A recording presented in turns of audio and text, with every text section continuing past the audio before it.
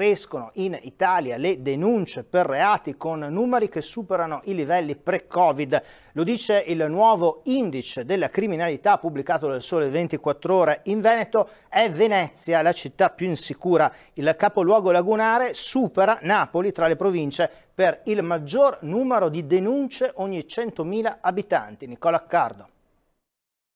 Con 4.825 denunce ogni 100.000 abitanti, quella di Venezia è la nona provincia d'Italia per indice di criminalità. La superano Milano, Roma, le altre grandi città del nord, anche Prato e Imperia, ma nella speciale classifica pubblicata dal Sole 24 Ore, Venezia è paradossalmente davanti a città come Napoli e Palermo. Sono milioni e milioni di turisti ogni anno e quindi fenomeni anche quelli più eclatanti sono quelli dei bosseggi, ma i bosseggi si rivolgono gran parte ai turisti e quindi diciamo che su questo c'è un'attività di prevenzione molto consistente da parte delle forze dell'ordine. Venezia è quinta in Italia per furti denunciati, addirittura seconda per borseggi, ma non è soltanto il turismo nel capoluogo a incidere, visto che il 46% delle denunce si distribuiscono tra gli altri comuni. La città metropolitana è quindicesima per denunce di violenza sessuale, 114 in un anno, ed è tredicesima per rapine e anche per truffe e frodi informatiche. C'è anche una sensibilità da parte della popolazione